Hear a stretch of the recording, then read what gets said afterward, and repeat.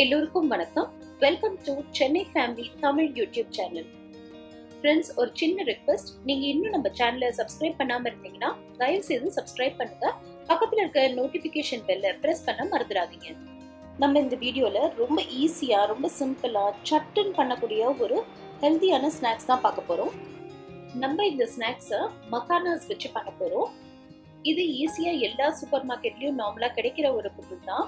நிறைய பேருக்கு தெரிஞ்சிருக்கும் தெரியாதவங்களுக்காக சொல்றேன். இது ஒரு ஹெல்தியான ஸ்நாக்ஸ் மட்டும் இல்லாம வெயிட் லாஸ்க்கும் ரொம்ப ரொம்ப ஹெல்ப் பண்ற ஒரு ஸ்நாக்ஸ் லாக்டவுன்ல வீட்டில் இருக்கிறதுனால நம்மளுக்கு ஏதாவது ஒரு ஸ்நாக்ஸ் சாப்பிடணும் போலவே எனி டைமும் இருக்கும். அந்த டைம்ல நம்ம கேலரி ரிச் ஸ்நாக்ஸ்லாம் சாப்பிட்டோம்னா நம்மளுக்கு இருக்கிற வெயிட்டை விட இன்னும் கொஞ்சம் அதிகமாகும்.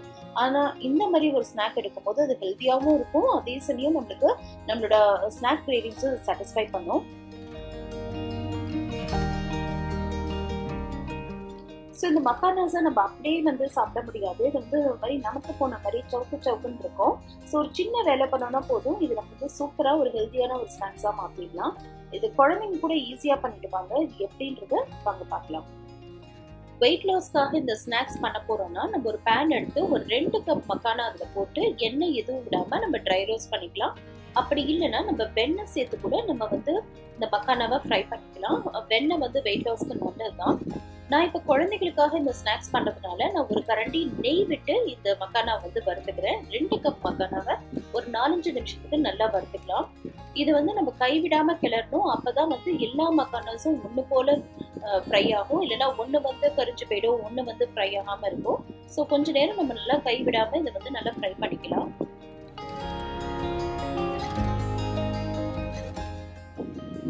மக்கானாஸ் நல்லா ஃப்ரை ஆயிடுச்சான்னு தெரிஞ்சுக்கிறதுக்கு நம்ம ஒரு மக்கானாவை எடுத்து நம்ம கையால நசுக்கி பார்த்தா தெரியும். ஸோ கையால நசுக்கணுன்னே உங்களுக்கு கிரன்ச்சி சவுண்டோட உடஞ்சதுன்னா மக்கானா நல்லா ஃப்ரை ஆயிருக்குன்னு அர்த்தம். நல்லா ஃப்ரையா இருந்தது நல்லா பாப்கார்ன் மாதிரி நல்லா கிரன்ச்சியா இருக்கும் சாப்பிட்றதுக்கு.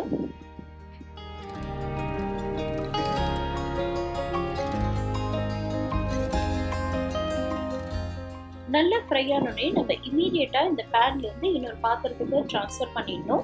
அதே பேனில் வச்சுருக்கக்கூடாது டக்குன்னு கரைஞ்சிடும் இப்போ இதே பேனில் கொஞ்சமாக நெய் விட்டு நான் வந்து ஸ்பைசஸ்லாம் ஆட் பண்ண போகிறேன் எண்ணெய் நல்லா சூடானோடனே நம்ம ஒரு கால் ஸ்பூன் மிளகாத்தூள் கால் ஸ்பூன் மஞ்சத்தூள் கால் ஸ்பூன் உப்பு இதெல்லாம் ஆட் பண்ணிக்கலாம்.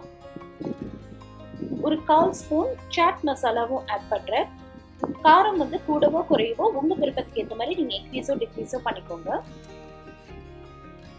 இந்த நெய்ல இந்த மசாலா பவுடர்ஸ்லாம் நல்லா கலந்துட்டு நம்ம ஏற்கனவே வறுத்து வச்சிருக்க மக்கானாஸை இதுல வந்து சேர்த்துக்கலாம்.